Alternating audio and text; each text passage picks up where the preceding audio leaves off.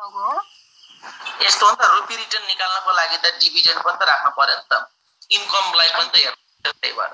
Ending price एकदम माथिल्लो जान्छ इन्डिङ प्राइस आफ्नो। नर्मल्ली नर्मल्ली के हुन्छ भने रुपी रिटर्न भन्नाले it is the sum of capital gain or loss and ordinary income भनेर पढेको होइन र अब क्यापिटल गेन अर लस र अर्डिनरी इन्कमको टोटल सम नै वास्तवमा के हो त रुपी रिटर्न हो भने अर्डिनरी इन्कममा त हामीले डिभिडेन्डलाई कन्सिडर गरिएको छ नि त यहाँ त। त्यही भएर डिभिडेन्डलाई जोड्न पर्छ कि ए इन्डिङ इयरको राख्ने हो डिभिडेन्ड चाहिँ? औ।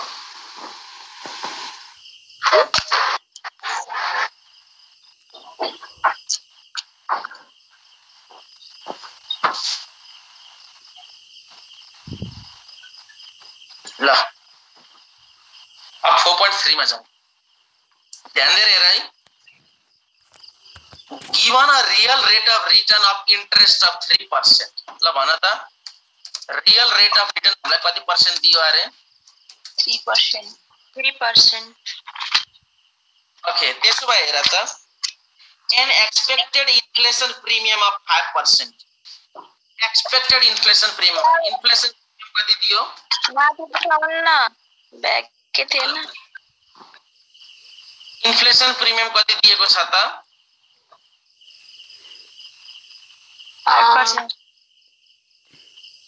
five percent sir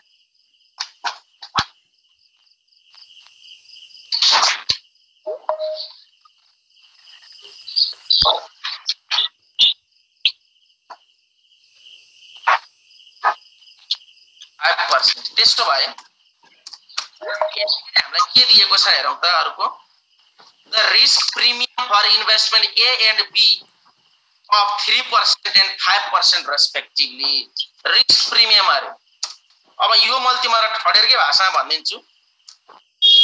premium for ए ए को लागि कति दिएको छ अरे?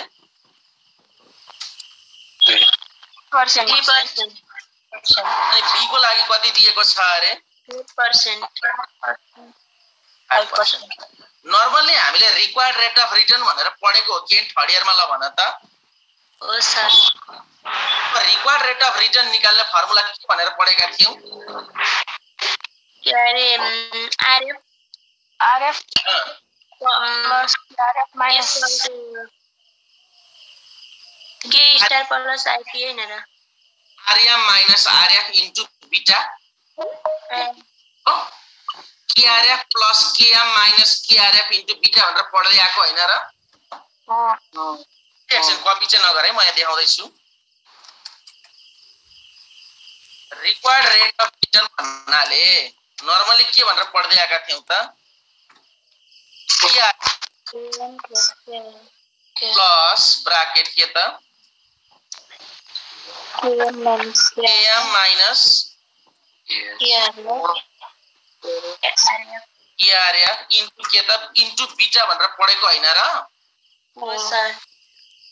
पछि हो यो केआरएफ भनेको त रिस्क फ्री रेट हो कि होइन ल भन त रिस्क फ्री रेट केएम भनेको मार्केटको रिटर्न भनेर पढ्थ्यौँ हो। कि होइन केएम माइनस केआरएफलाई हामी मार्केट रिस्क प्रिमियम या त रिस्क प्रिमियम भनेर पनि बुझ्ने गर्थ्यौँ हो मार्केट रिस्क प्रिमियम या त रिस्क प्रिमियम भनेर बुझ्ने गर्थ्यौँ त्यसो भए हामीलाई ए नम्बरमा क्वेसनले के मागे हेर त risk free rate of return risk free rate निकाल्ने अरे हेर त। रिस्क फ्री रेट भनेको त केआरएफ निकाल्न भनेको होइन र? Risk free rate KRF is equal to अब हामीलाई अहिले डाइरेक्टली क्वेसनमा केआरएफ दिएन त्यही भएर हामीले निकाल्नु पर्ने भयो। डाइरेक्ट केआरएफ नदिएको बेलामा निकाल्ने फर्मुला के त? सिधै यो बाहेक अरू केही फर्मुला हुँदैन। Real rate of inflation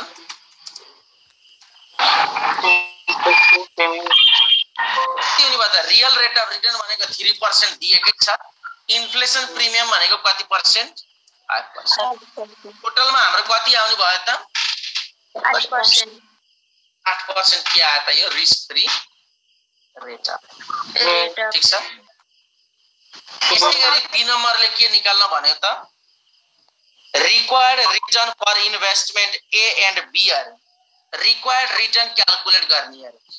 required return भनेकै रिक्वायर्ड रेट अफ रिटर्न भन्न खोजेको यसले। हेर त। रिक्वायर्ड रेट निकाल्ने फर्मुला त के हो? KRF plus KM minus KRF into beta हो कि होइन? अब हामीले दुइटैको लागि? इन्भेस्टमेन्ट ए को लागि पनि इन्भेस्टमेन्ट बी को लागि पनि के क्यालकुलेट गर्नु पर्यो त? रिक्वायर्ड रेट अफ रिटर्न ल हेर त।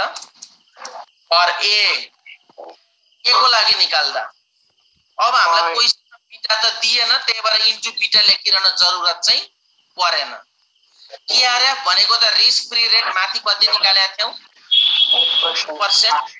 प्लस हो यो केएम माइनस केआरएफ भनेको त कति हुने भयो? KM minus market risk premium या त रिस्क प्रिमियम भनेर बुझ्ने गरिन्थ्यो होइन? के को कति हो?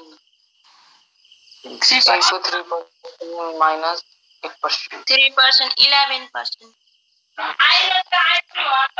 फेरि यसै गरी के लागि निकाल्नु पर्यो? बी को लागि पनि निकाल्नु परेन र सेम प्रोसेसले